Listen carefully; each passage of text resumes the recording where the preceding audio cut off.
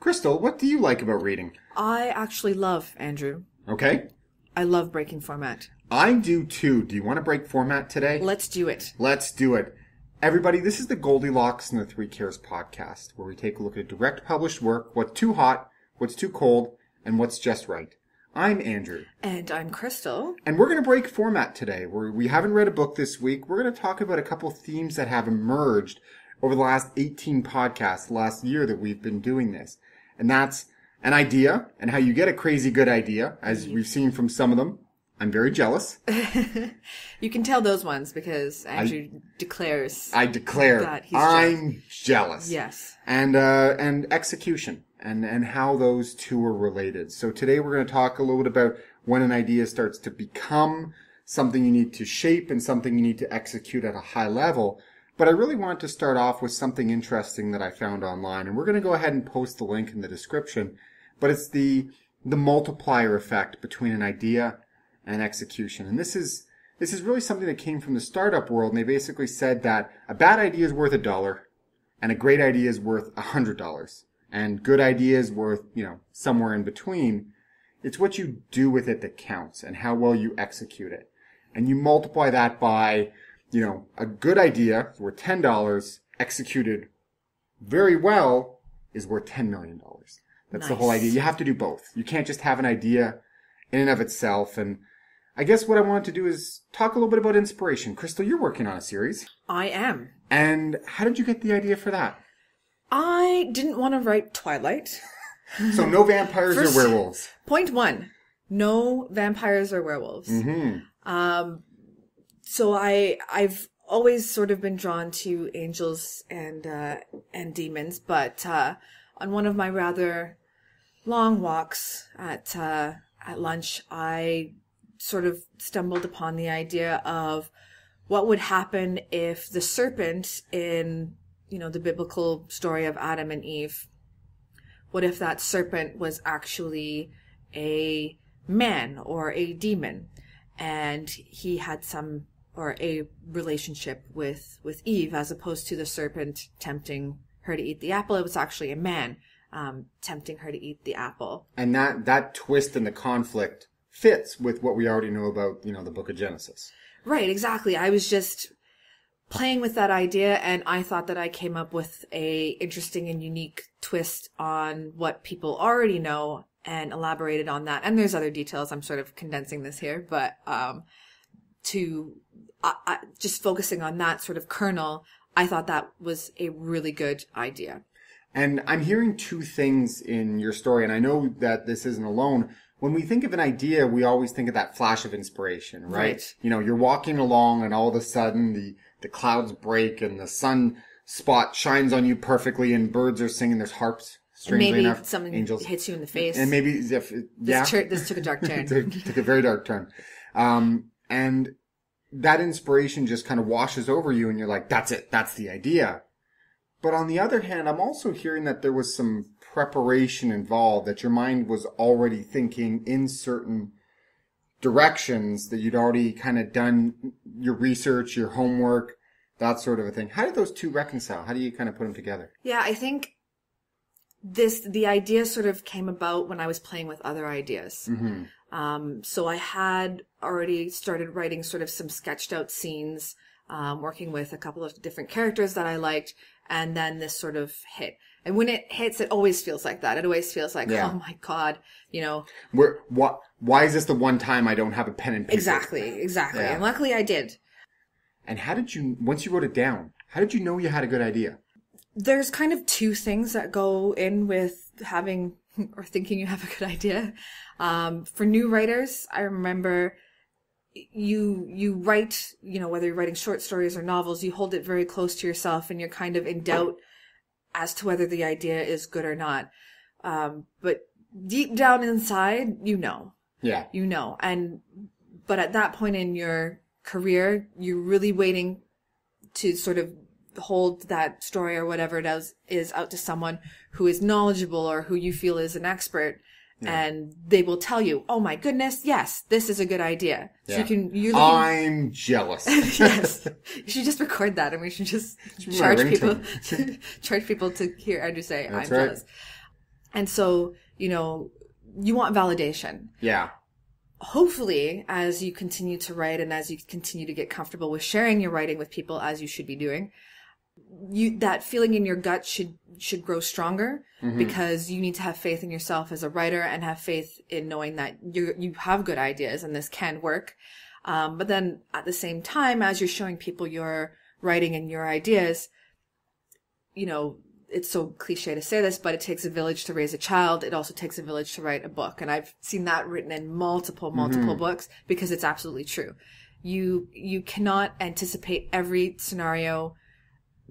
You know, someone else will see a different spin on it that sort of disrupts the flow of your plot. So they can be your, your barometer on how good your idea is, but at the same time, know in your gut and believe in, in what you want to write as well. and your gut gets stronger and, and gets more refined and pinpointed. I mean, I think every writer that I know has a book of ideas, Yes. but not all ideas are ideas, but not all ideas are good ideas, and very few are great ideas. Yeah, I mean, I have I have so many ideas that you know it's almost there, but not quite. Like you know, mm-hmm. time travel taxi. I'm just throwing that out there. It's not. It's it's not a great idea. I can see the poster now, starring Channing Tatum. yes, and Joseph Gordon-Levitt. Yeah. Odd combination, but it somehow works. You want to know what? I'd pay nineteen dollars to see that movie.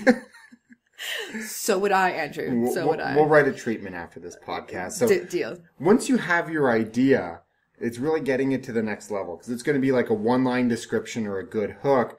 What are some of the things you should do to start stretching that out and turning that into a book or into a short story?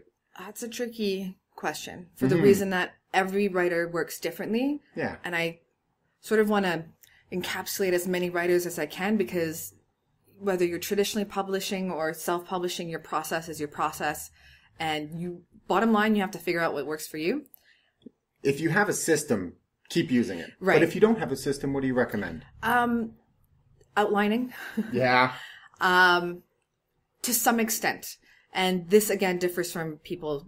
The amount of from my perspective, the amount of outlining that you do is critical to moving forward with your novel uh, a bit faster hmm because you know where you're going.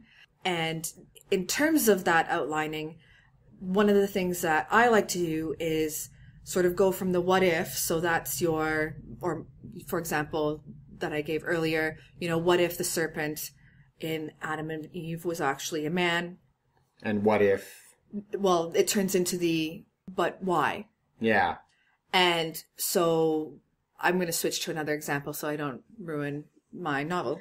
Um, but let's go with a funeral. Yeah. So, uh, There's a funeral. yes, there's a funeral and the main character, um, has come home for the first time in 10 years because she hasn't, did, hasn't want to see her mom and they don't speak together But why? because when she was, you know, 17 years old, she stumbled home one night and found her mother and her dad's best friend tumbling around on the couch with each other. But why? Well, because the main character's mother was trying to get back at the dad because he was embezzling money and she knew about it and she was feeling neglected and betrayed and it was a moment of weakness and this sort of just happened. I like this game, but why? because the dad was actually being blackmailed by the best friend and the wife didn't know and the daughter is stumbling home upon this and it all unravels at this funeral. Starring Joseph Gordon-Levitt and Emma Stone. Oh, can we throw Channing Tatum in there? Channing Tatum's a dead guy. He's a dad. We'll put him in makeup. okay. He has to be in every movie, and that's how we cast him. That's Sometimes true. it's on It's roles. So what I'm hearing is that you You know can do him in flashbacks. Channing, call us. Yeah, We have a role for you. Doesn't pay well. So what I'm hearing is that, you know, you first take your idea and you kind of stretch it out with some of the what if games. And then after that, you've stretched it wide. You have to make it deep and you have to make it. Sorry to clarify, it's the but why? Yeah, the but why is the, The second what if part. the what if is your what if this happened exactly. or what if yeah And then you ask a couple of those questions to kind of stretch out the idea. But in order to make it deep, to make it Yes. profound, to make it something that connects and resonates with people, you have to get a few layers deep in the but why. Now, I want to mention that's not my idea. I'd love to take credit for it, but Go ahead um, and write it if you want, people. I- but I actually got that from, and I think I've mentioned it in another podcast before. Donald Maass. He's one of the top agents in the U.S. and uh, he has a couple of really great uh, books on writing and how to make your story deep. So if you're curious about that, check him out. Now this this sounds like we're kind of tipping over from the I have an idea with a good hook into here's how I'm going to do a good job and I'm going to execute well on it. Right. Yes. So now we're sort of bleeding into, in some cases, the ex- the execution. So from the good idea to executing that good idea in a way that doesn't make you cry. What makes you cry when you write, Crystal? it's not easy Sometimes. sometimes But why? because you're trying to put that beautiful idea that you worked out in your head with the what if and the the but why and trying to add description and um, depth of character and World emotion building. and world building and and and there's so many elements that have to go together into a book so this brings up an interesting point i think in that the writing isn't actually the hard part No, is it? it's the editing Yeah. that takes up the majority of your time and is the hardest part because it's easy to you know once you get into the flow of things you're writing you're like oh my god 1500 words an hour i am a champion It's middle of October. There's a lot of buzz about NaNoWriMo coming Yep. up, and I've actually had a couple people tell me that they're planning on, you know, writing their first book or writing their next book this November. That's a great way to bang through your first draft. oh yeah definitely But at the end you have 50,000 maybe even more words which and don't get me wrong I'm not saying that that's not a great achievement. That is because I don't know that many people who have managed to do that. Nine out of every ten people that have told me they have an idea never even get to the point of finishing that first draft. exactly. So Yeah. you know by all means drink a bottle drink a glass of wine. Drink responsibly a bottle. wow. Whoopsies. You know congratulate yourself. Champagne perhaps. Um but also realize that you are about a third of the way up that hill When you say a third, what do you mean? Like, how do you break down the time between that that planning and that I, you know, the ideation and let's call it outlining the what if but why games versus the first draft versus that hardcore editing and really shaping and molding. What's kind of the balance between those three? well um again this is for me i'd say it's 20% outlining Okay. and then 30 to 40 writing Okay. and then the rest is editing So it's almost half. yeah yeah Wh- Why do you think that is?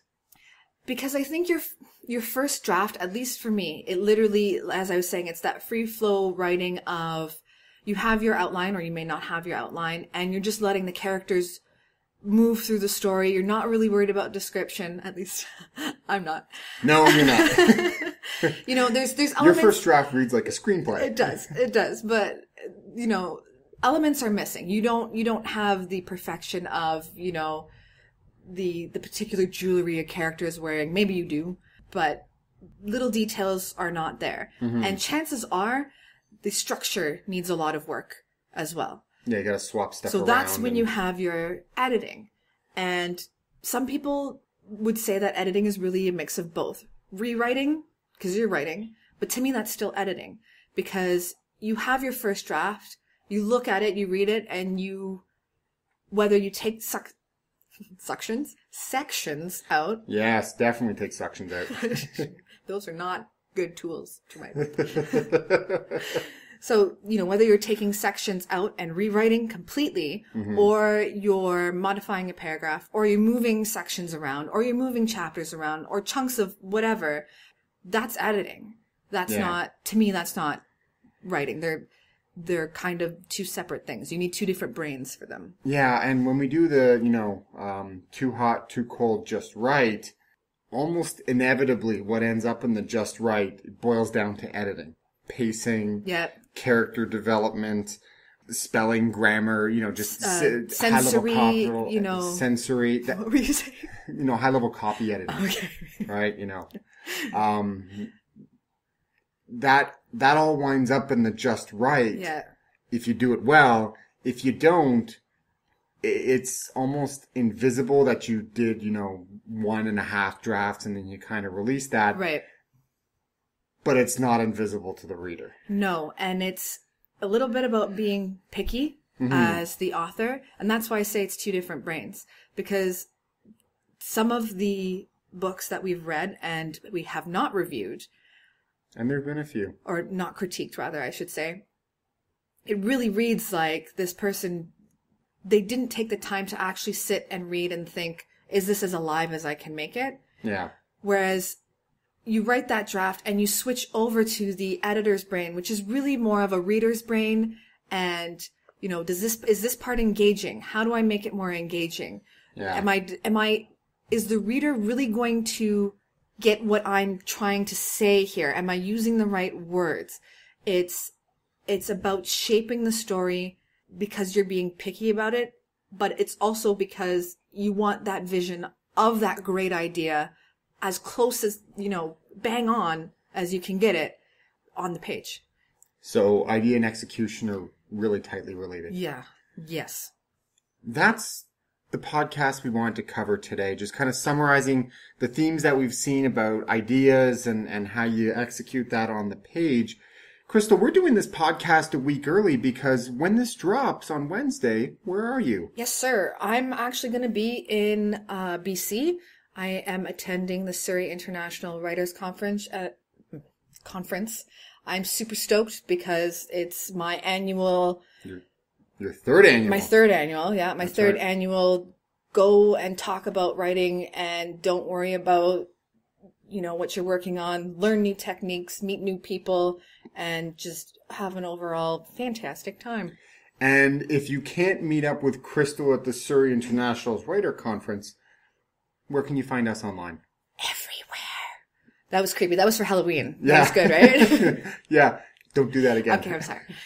You can find us on Twitter at Everything's Temp, Facebook, Everything's Temporary, www.everythingstemporary.com, and YouTube, Everything's Temporary, and iTunes. That's a lot of places. It is. It is. Everybody, everybody, thank you very much for taking the time to listen. If you like what you heard, like it, share it, get the word out. I'm Andrew. And I'm Crystal. Until next time, keep reading. Everybody, welcome to the Goldilocks and the Three Cares podcast, the podcast where we normally take a look at what's too hot, too cold, and just right with Crystal losing it. The light, Like I can't 30 look at you seconds because in. I'm looking